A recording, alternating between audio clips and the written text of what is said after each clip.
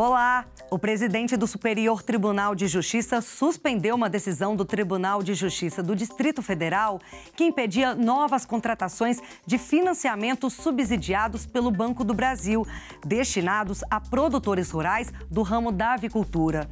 O ministro Humberto Martins ressaltou que, ao interromper as novas contratações no regime existente, a liminar do tribunal colocou em risco a atividade agrária, sendo necessário suspendê-la até o trânsito em julgado da ação, que questiona as regras desse tipo de financiamento subsidiado.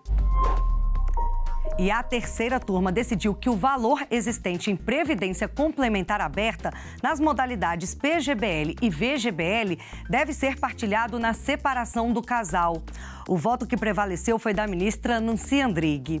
Ela destacou que o regime de previdência privada aberta é distinto da previdência fechada e que o hipotético tratamento diferenciado entre os investimentos realizados em previdência privada complementar aberta, que são incomunicáveis, e os demais investimentos comunicáveis, possuiria uma significativa aptidão para gerar profundas distorções no regime de bens do casamento, uma vez que bastaria ao investidor direcionar seus aportes para essa modalidade para frustrar a divisão com o cônjuge.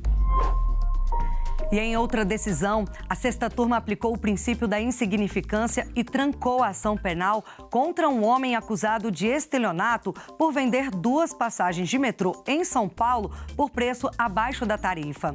A relatora ministra Laurita Vaz explicou que o princípio da insignificância ou da bagatela é utilizado quando se evidencia que o bem jurídico tutelado sofreu mínima lesão e a conduta do agente expressa pequena reprovabilidade e irrelevante periculosidade social. A ministra lembrou que a incidência do princípio deve observar as particularidades do caso concreto, a fim de verificar se há necessidade da utilização do direito penal como resposta estatal.